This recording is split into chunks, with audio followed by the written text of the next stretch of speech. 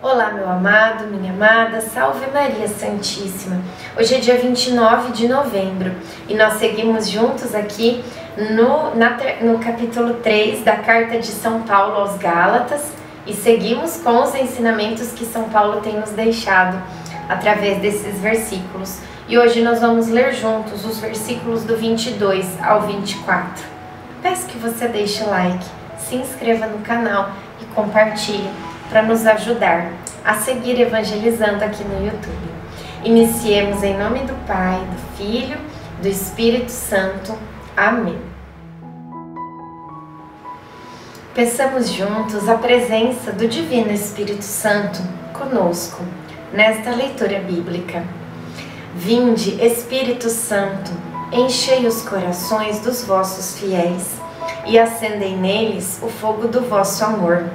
Enviai o vosso Espírito e tudo será criado, e renovareis a face da terra. Oremos, ó Deus que instruístes os corações dos vossos fiéis com a luz do Espírito Santo, fazei que apreciemos retamente todas as coisas, segundo o mesmo Espírito, e gozemos sempre da sua consolação. Por Cristo Senhor nosso. Amém. Mas a Escritura encerrou tudo sob o império do pecado, para que a promessa, mediante a fé em Jesus Cristo, fosse dada aos que creem. Antes que viesse a fé, estávamos encerrados sob a vigilância de uma lei, esperando a revelação da fé. Assim, a lei se nos tornou pedagogo, encarregado de levar-nos a Cristo para sermos justificados pela fé. Palavra do Senhor, graças a Deus. Hoje São Paulo continua mais ou menos nos dizendo que que ele disse ontem, né? Nós continuamos entendendo que toda essa questão da lei foi apenas para nos ensinar, para nos instruir.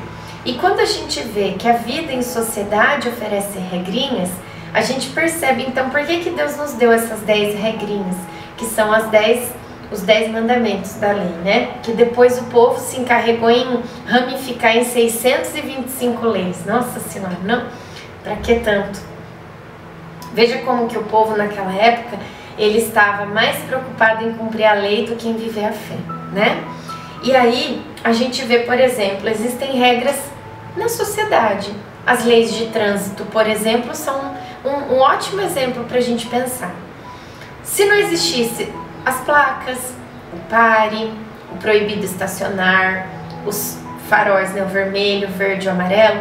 Você já imaginou que confusão que ia acontecer, inclusive até os acidentes, né, de carro iam acontecer? Por quê?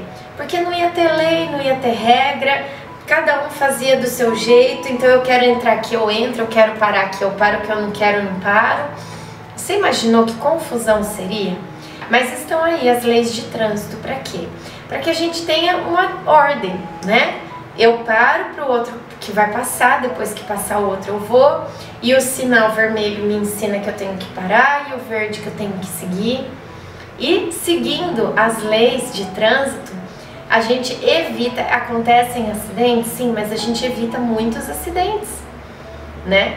Então, se eu tenho um carro, uma quarta de motorista, eu quero sair pela rua dirigindo, o mínimo que eu tenho que fazer é seguir as leis. Assim é a nossa vida.